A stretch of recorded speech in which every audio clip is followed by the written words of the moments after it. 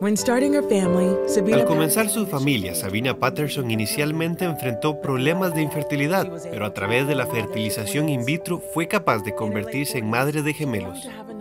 A sus cuarenta y tantos años deseaba tener otro hijo. Los médicos le dijeron que su útero estaba dañado y que necesitaba cirugía, pero la noche antes de la operación, su esposo Jeremiah dijo algunas palabras que cambiarían su historia.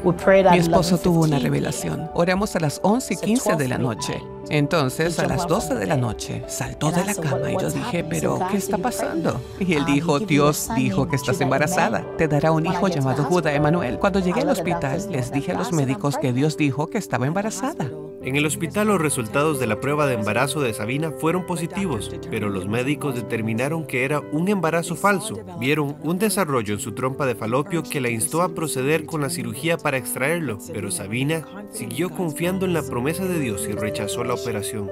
Yo estaba hablando con ellos y les dije, ya sabes, estoy embarazada y es un bebé. Y dijeron, no, no es un bebé. Entonces querían que entendiera que no es un bebé, pero seguí negándome a decir esa palabra, porque la gente dudaba de Dios hicieron parecer que estoy loca. Dios puede usar a los necios para confundir a los sabios. Entonces le digo a Dios que demuestre su valía ante ellos.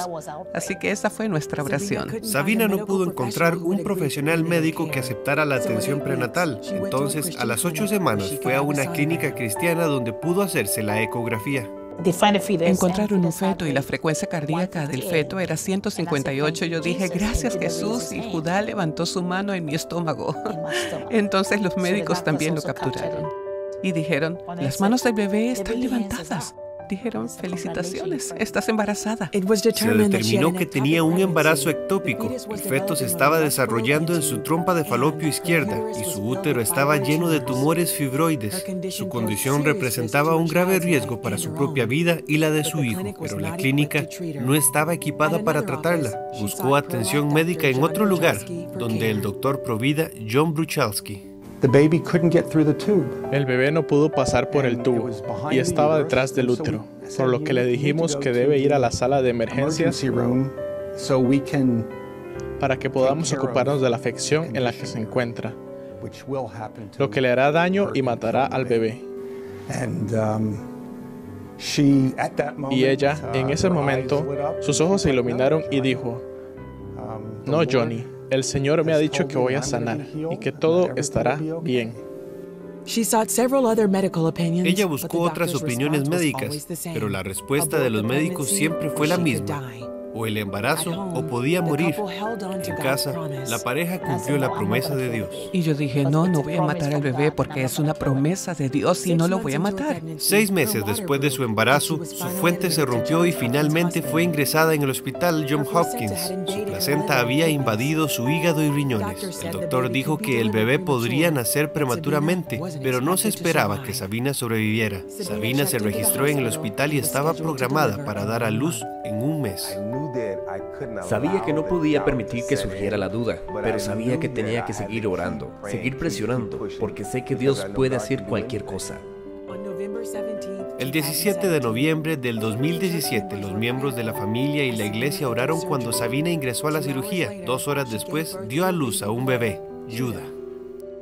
Sabina se recuperó por completo. Ambos eh, lloramos y sobre todo nuestro llanto era de agradecimiento a Dios. Simplemente bailamos en los hospitales, bailamos hasta que ya no pudimos bailar porque fue como un sí. Mientras, Judah estaba siendo tratado en la unidad neonatal de cuidados intensivos. Cuando estaba en la incubadora levantó la mano y yo dije, gracias Jesús, lo logramos. Después de tres meses en cuidados, Judah llegó a casa con sus padres.